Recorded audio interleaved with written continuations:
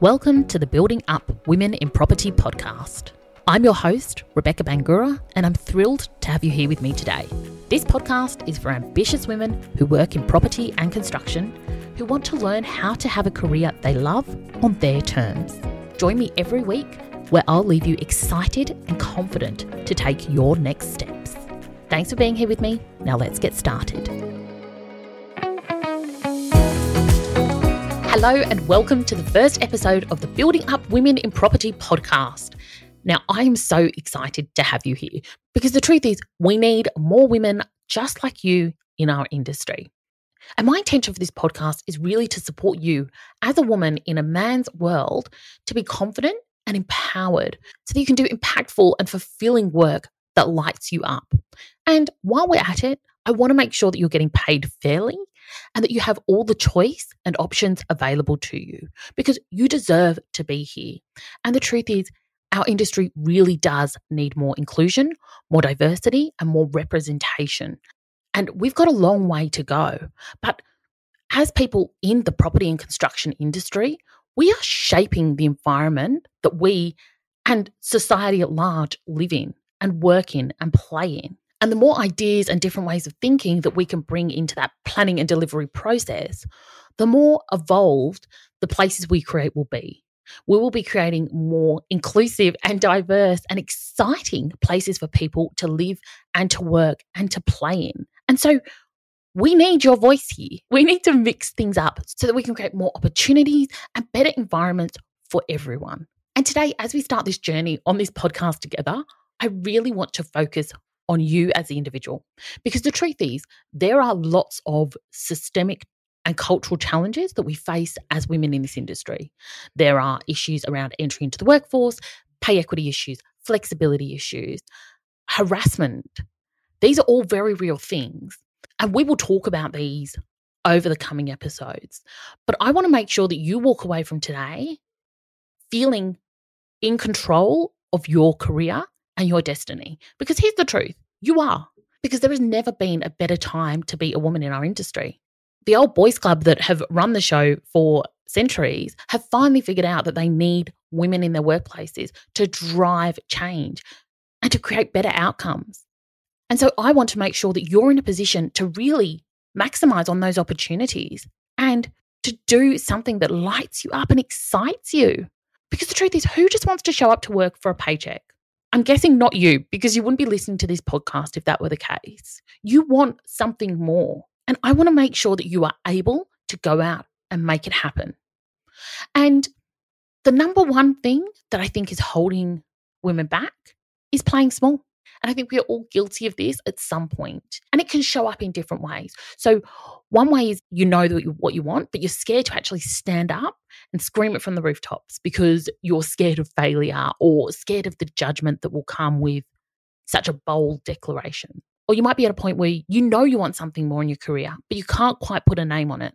And you're stuck in indecision or uncertainty, trying to figure out what the right thing is or trying to create a achievable goal in order to get there. And so you're hiding behind uncertainty by not making a decision. And that allows you to keep hidden and stops you from going after what you actually want. Like, get honest with yourself. Do you find yourself keeping your ambitions to yourself? Do you find yourself waiting for permission, waiting to be asked? And are you scaling down your dreams so that they're more palatable to other people or they seem more realistic and achievable. Because how we play small, it shows up in many different ways. But at the center of it is that we are shrinking away from taking action because we are uncomfortable or we are scared that we will fail. And in doing so, we settle for less than we want and less than we are capable of because we are scared and we don't want to take the risks because we fear that we might look stupid or be ridiculed. And sometimes we don't even know that we're doing it. Like this can show up as women not celebrating their achievements because fear of tall poppy syndrome or not wanting to take on roles or even declare their interest in something because they're scared that they won't measure up or that they'll fail. And the result is, well, they do fail. And it's called an avoidance failure. And it has nothing to do with not being capable. It's simply that they avoided ever taking the risk, right? They avoided the opportunity completely and they never got in the arena and took the shot. So I want you to really think about your career. Are you showing up fully as the most expressed, genuine version of yourself? Are you being that, you know, authentic, vulnerable person that you are? Or are you wearing a mask so that you don't rock the boat and don't open yourself up to judgment or criticism and you get on with everyone? Because what we often do, especially in these male dominated environments, is we train ourselves to wear these masks. And that facade of being the nice girl that isn't too ambitious or too confronting or too up herself or whatever version of that mask is for you, it robs you of your power. It stops you showing up as the person that you really are. And I know that we need to be standing in our own power in order to create the career and the life we want. We can't fake our way to this. And we can't be afraid. We can't keep playing safe and have the career and impact that we dream of, right? The two things are not compatible. If you want to be doing work that excites you and keeps challenging you and allows you to have a big impact in the world, you are going to have to get comfortable being uncomfortable, right? Because as long as we are comfortable and free from judgment, we are selling ourselves and our dreams short. And we're also selling the people around us short too. They are seeing a watered down version of who we are and they are getting watered down result. Because when we are playing small, we're motivated by our fears and that keeps us stuck and it stops us contributing or creating a maximum impact in the world. And here's the thing no one is going to tap you on the shoulder and give you the stage or the platform to create the career you want, right? It's not how it works. You need to own it.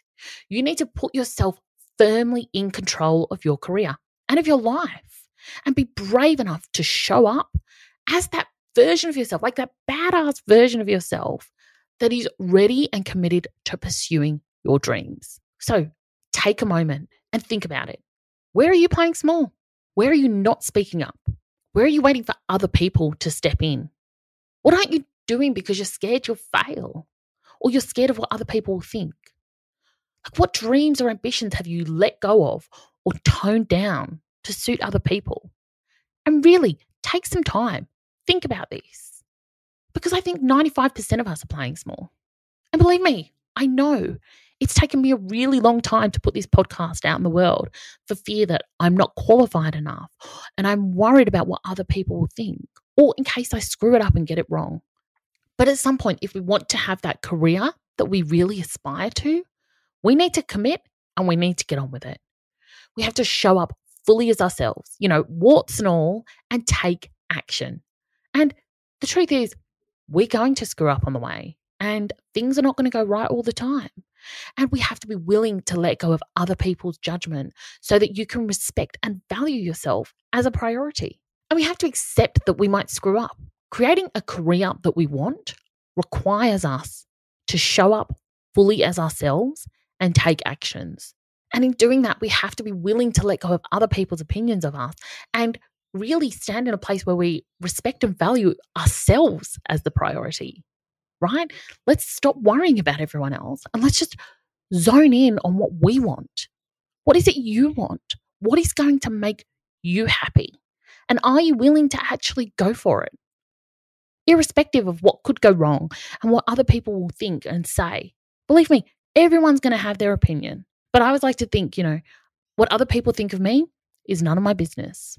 I want to wake up every day knowing that I am genuine and I'm true to myself. That has to be my number one priority. So I invite you to look at your career and think about what you truly want and who that version of you is, right? Stop hiding yourself and instead allow yourself to really expand, to create a new concept of what is possible for your career and for your life. Really allow yourself to dream bigger, and be unapologetic about what you want and the impact that you want to have in the world. And you might be motivated by any number of things. You might be motivated by the impact you have, the work you do, the money you can generate, the platform you can have access to. Whatever motivates you is fine. Don't apologize for that. But I want you to just think about what would you do if anything was possible? If the sky was the limit Who would you want to be?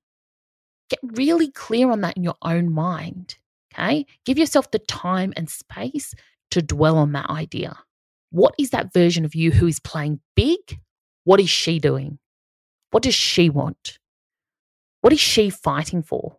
And as you think about this, notice your brain is going to put up resistance.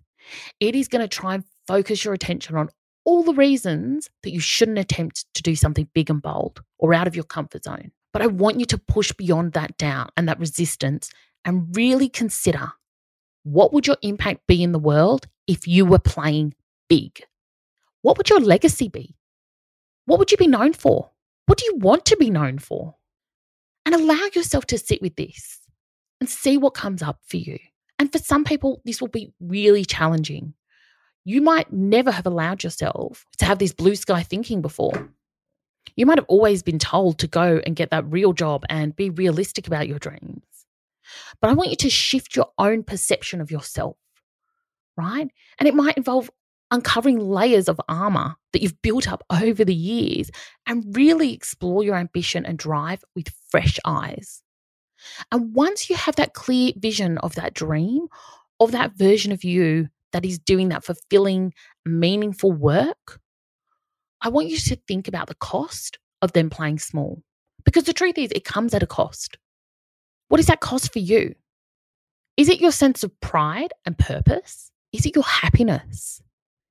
Is it your financial success? Right? That's a big one. Is it your confidence? Your self respect? And I want you to really ponder these.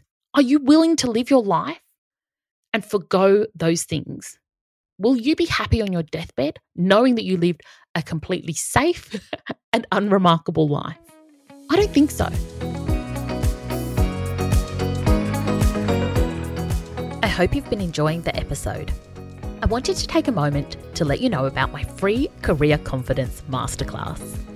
This is for ambitious career orientated women who are ready to stop playing small and to confidently create a career you love. Head over to my website, beautifuldisruptions.com, for more info. Now let's get back to the episode. I want to invite you to stop hiding, to give yourself that space to really dream big.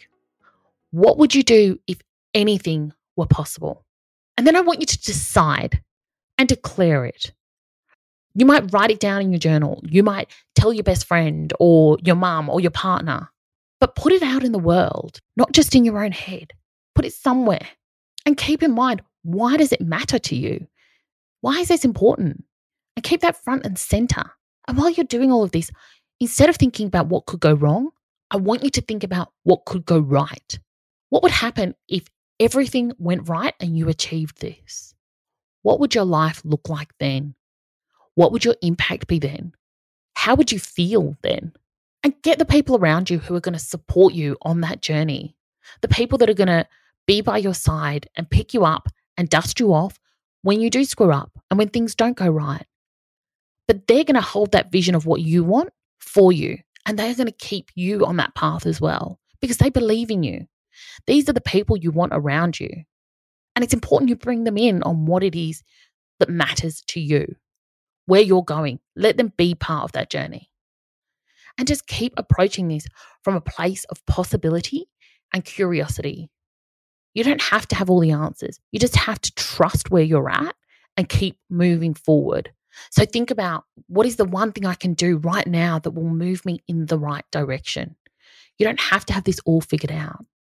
But you have to have a vision and you need to just be taking action. Because the truth is, clarity comes from action, not from thought. So start to expect that things will go wrong, and that is all part of the process. And when things do veer off course, you can always come back to these three questions What worked? What didn't? And what would I do differently? Because we have to be willing to fail and to grow from those failures in order to live a big life. And I want you to really think about what is the cost of you playing small?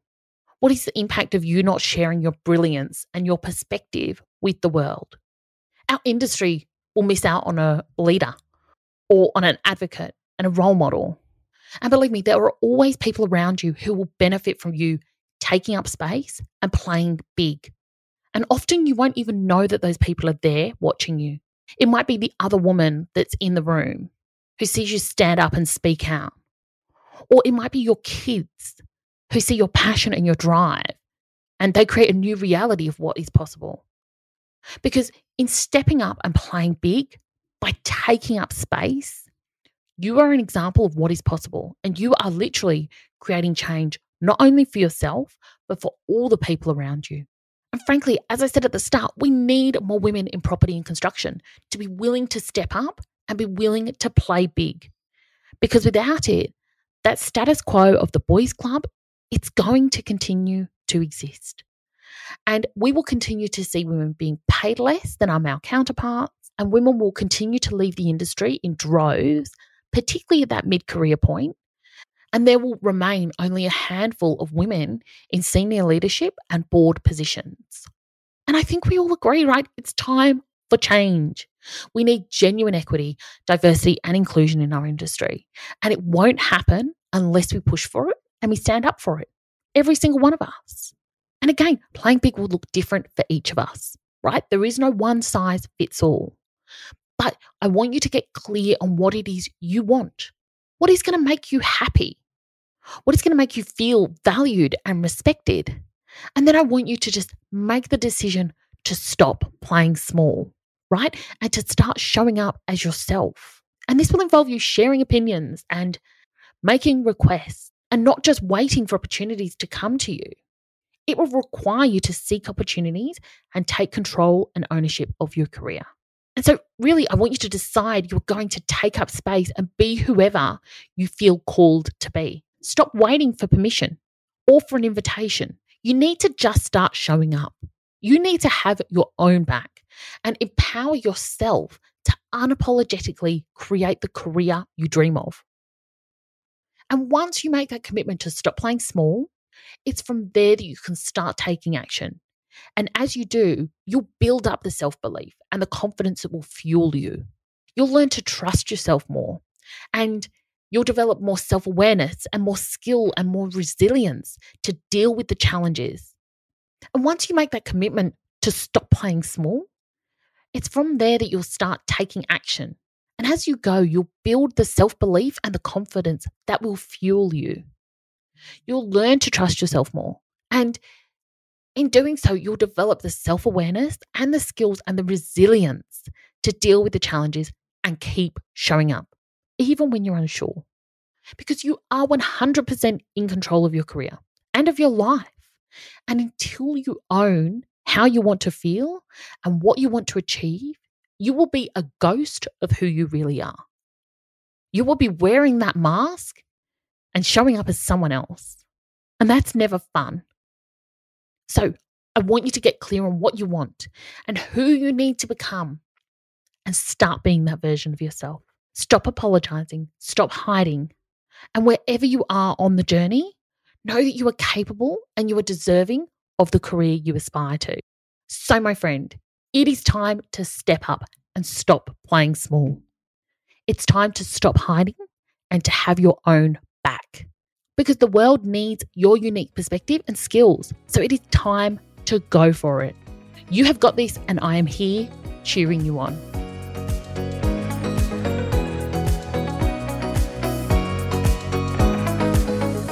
Thanks for joining me on the Building Up Women in Property podcast. If you'd like to learn more about what I do, head over to Instagram. I'm at Beautiful Disruptions and reach out if you want to connect. Have a beautiful day, and I'll see you next time.